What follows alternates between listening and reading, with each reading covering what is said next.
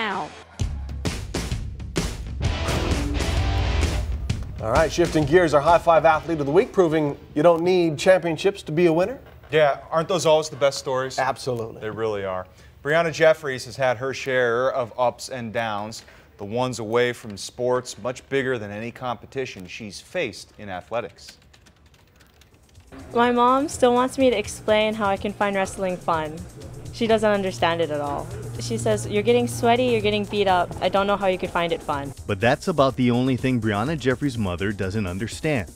Nearly 10 years ago, Brianna's mom was diagnosed with COPD, a disease that makes it hard to breathe and one that doesn't have a cure. Even though she had a lung disease, she still stuck through, and she's an incredibly strong woman.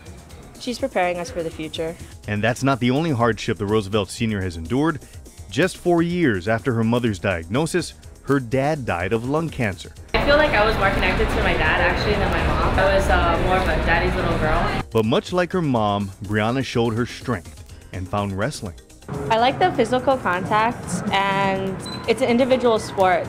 She may have lost in the state title match, but she'll always be number one to her biggest fan, her mother.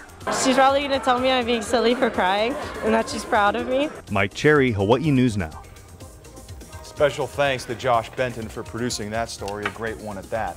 Our Keiki Athlete of the Week, Katie Nakamura. She's a gymnast who won first place at the National Championships in Japan for her age division 10 and under. Congrats to her. Remember, send photos of your Keiki Athlete to K5.com for a chance to get them on TV and win some pretty cool prizes.